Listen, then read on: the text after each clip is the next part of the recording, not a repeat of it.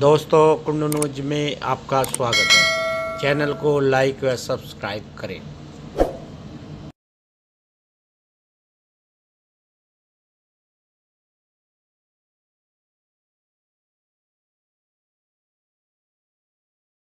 उन्नीस सौ बावन से लेके उन्नीस सौ अट्ठानवे तक चौधरी चरण सिंह और उनके परिवार के साथ मैंने राजनीति की।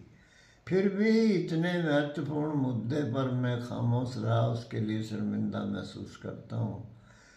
चौधरी चरण सिंह जी को भारत रत्न देने पर लोगों में इंतहा खुशी है और ये काम बहुत पहले होना चाहिए था।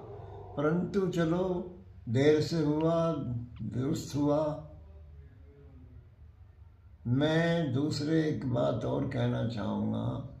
कि जयंत ने जो वक्त के अनुसार फैसला लिया है बीजेपी के साथ चलने का, इसका भी पश्चिम उत्तर प्रदेश के लोग हृदय से स्वागत करते हैं और उसके मुस्तकबिल, उसके भविष्य की कामना कर, शुभ, अच्छे भविष्य की कामना करते हैं।